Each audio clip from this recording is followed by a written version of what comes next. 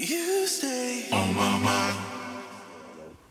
Right, so I thought that actually me just rambling on about what I think people should and shouldn't do isn't the right message. So I need to kind of explain what I mean. And also, I never ever give advice unless I take it myself or I look back at my past and think, actually, I made a mistake here, here, and here.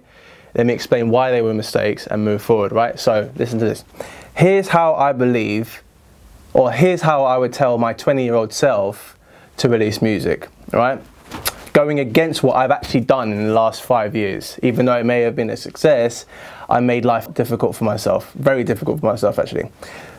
For a few years, or however, however, however you put out music or however you create music, right? For me particularly, I need a solid year. Go dark for a whole year and find your own sound, right?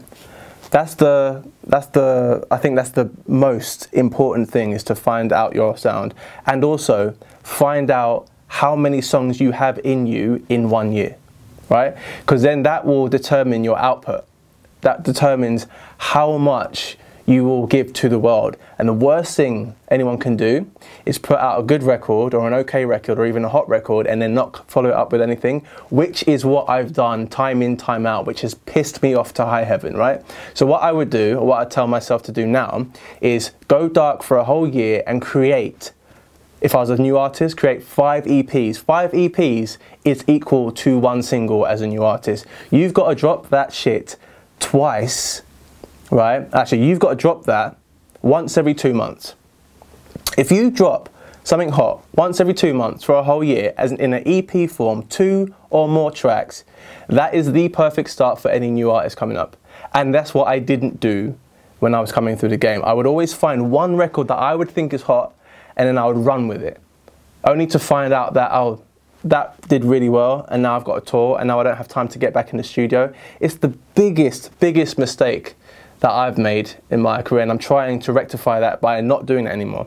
So this year, even as disciples, we're getting our music together now before summer gets crazy, so we have all of our assets in place. Okay? As a new artist, that's even more important because what it does is it allows people to realize, oh, actually, you're a serious artist, you're actually releasing consistently, and it's consistency in this day and age over quality. Back in the day, you could release one single and that would blow up and that'd be a whole year touring. Now you've got to consistently release and not worry too much about quality because quality is actually subjective, right? I might find something really good and you might hate it or think it sucks. It's completely subjective. Actually, the only thing that is good and bad is a good and bad mix. So you can have a bad mix of a song. You can have um, the sound quality is terrible. You can have a bad note, you can hit a wrong note. Those are things that are obviously bad and good. Everything else is completely subjective, so why be a slave to that? Just release consistently good music. How do you release? Well, have to show you that in another video.